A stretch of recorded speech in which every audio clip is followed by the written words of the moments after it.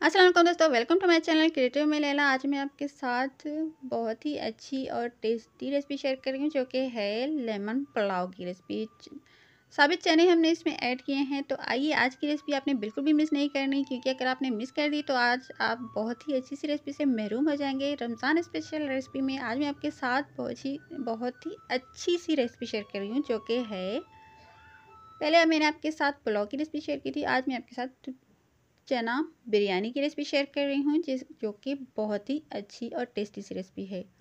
तो आइए ingredients note कर लीजिए और मिस बिल्कुल भी आपने नहीं करनी आज की रेसिपी सबसे पहले हमने लिए हैं दो किलो चावल और एक किलो टमाटर लेमन लिया है हमने ग्रीन मसाले लिए हैं और इसमें है हल्दी पाउडर चाइनीज़ सॉल्ट और बिरयानी मसाला है।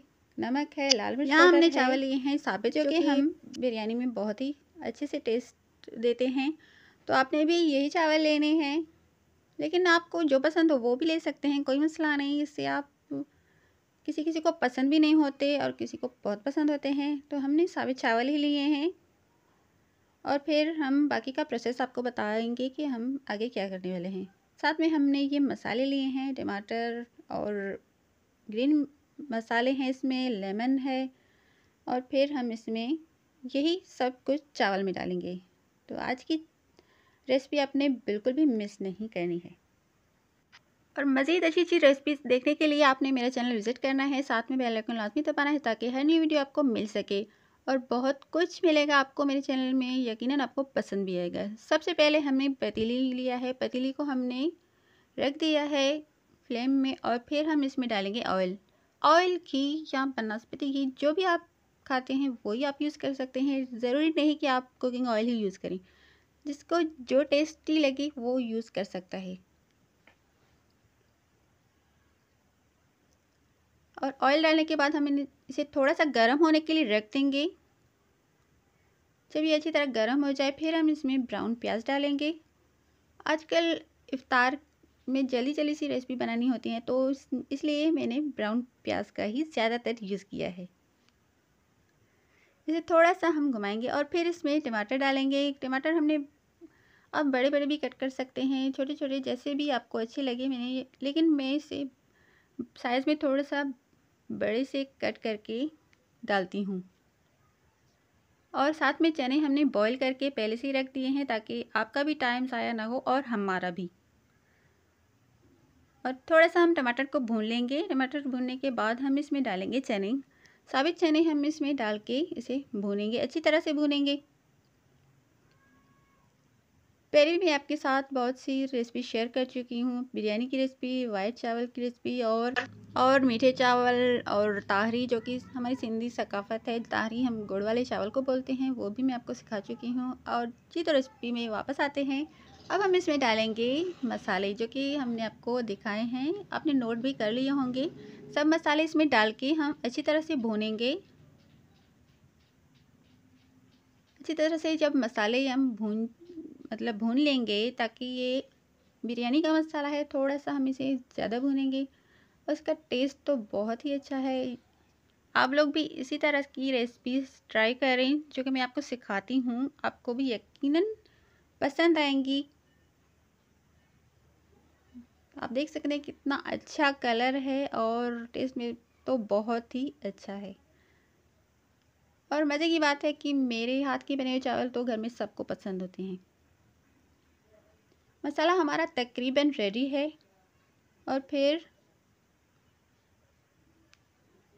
और फिर बाकी इसमें क्या करना है तो इसके लिए आपको पूरी रेसिपी देखनी है, पड़ेगी और साथ मेरा साथ देना पड़ेगा।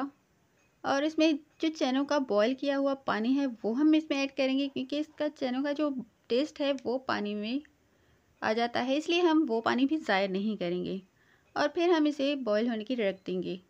जब ये पानी बॉईल हो जाएगा, फिर हम इसमें डालेंगे चावल। आप देख सकते हैं कि पानी बॉयल हो चुका है, अब हम इसमें डाल रहे हैं चावल। चावल हम इसमें ऐड करेंगे और हल्की आँच नहीं करनी, अगर आपने हल्की आँच कर दी तो चावल सख्त हो जाएँगे। सख्त हो जाएँगे तो दम पे भी नहीं पकेंगे। यहाँ एक तरीका मैं आपको बता रही हूँ। जब आप चावल दम पे रखें तो इसके ऊपर से कोई कपड़ा ढांक के रख दें तो दम बहुत ही अच्छे से आ जाएँगे चावलों को। कभी कभी चावल सख्त भी हो जाते हैं, लेकिन कोई मसला नहीं। अगर आप ढक्कन में कोई कपड़ा या जो हम नॉर्मली किचन में होता है, जिसमें हम रोटियाँ रखते हैं वो थोड़ा सा गीला करके इसके ढक्कन में रख देंगे साथ में तो ये बहुत ही अच्छे से दम आ जाएँगे चावलों को। आप देख सकते हैं कितना अच्छा सा कलर आया है हमारे चना बिरयानी का और ये टेस्ट में भी बहुत ही अच्छा है। अभी इसमें थोड़ा सा कच्चापन है जो कि आपको नज़र भी आ रहा होगा कि थोड़े से दा, इसमें दाने वाइट नज़र आ रहे हैं इसलिए इससे जब तक ये फुल तैयार नहीं हो जाते, हम इसे नहीं उतारेंगे। आप देख सकते हैं, पानी तकरीबन खुश्क होने वाला है, लेकिन थोड़ा सा पानी है तो इसमें ही ये रेडी हो जाएँगे। ज़्यादा देर इसे नहीं लगेगी। चावल बनने में दस मिनट ही लगते हैं, जो कि बहुत ही कम टाइम है। अवतार में आप बना सकते हैं, शहरी में भी आप बना सकते हैं, लेकिन इसके लिए आपको चने पहले से बॉईल करके रखने पड़ेंगे, क्योंकि शहरी में इतना टाइम नहीं होता कि हम चने बॉईल करें और फिर बिरयानी बनाएँ। जी तो दोस्तों, आप देख सकते हैं कि तकरीबन पानी खुश्क हो चुका है। चावलों का अब हम इसे दम पे रख देंगे। दम पे रखने के लिए थोड़ा सा हम मज़ीद इसे हिलाएँगे और फिर आप देख सकते हैं, इसी तरह से चावलों को मिक्स करके फिर हम इसमें बाकी के मसाले डालेंगे जो कि हमने आपको दिखाए थे। ग्रीन मसाले जो बहुत ही टेस्ट में भी अच्छे होते हैं और गार्निश के लिए भी बहुत अच्छे होते हैं। और साथ में हमने लेमन लिए हैं। लेमन भी हम इसमें डाल देंगे। लेमन बहुत ही पतले पतले आपने काट लेने हैं। अगर आप साबित ही डाल देंगे तो ना ही इसका टेस्ट चावलों में जाएगा और ना ही आप इसे खा सकते हैं। तो आपने बिल्कुल इसी तरह से कट करके इसमें डालने हैं। ऊपर से डाल के हम फिर इसे दम पे रख देंगे। वाह कितना अच्छा सा माशाल्लाह लुक आया है हमारे चावल का। बिरयानी बहुत ही मज़ेदार सी बनी है। और फिर पाँच मिनट के हमने इसे छोड़ दिया था और वाह माशाल्लाह। आप देख सकते हैं हमारे चावल तकरीबन रेडी हैं और अब हम इसे खाएँगे। अवतार में तो बहुत ही अच्छे लगते हैं और शहरी में भी चावल तो वाह बहुत ही अच्छे लगते हैं। यकीन आज की रेसिपी आपको दोस्तों पसंद आई होगी। और फिर किसी अच्छी सी रेसिपी या वीडियो के साथ मिलूँगी आपके साथ। तब तक के लिए मुझे इजाज़त दीजिए दो में याद रखिएगा, अपना बहुत सारा ख्याल रखें। रमज़ान स्पेशल रेसिपी में आज मैंने आपके साथ शेयर की चना बिरयानी की रेसिपी तो मज़ीद अच्छी सी वीडियोज़ के साथ मिलेंगे। तब तक लिए इजाज़त दीजिए, अल्लाह हाफिज़।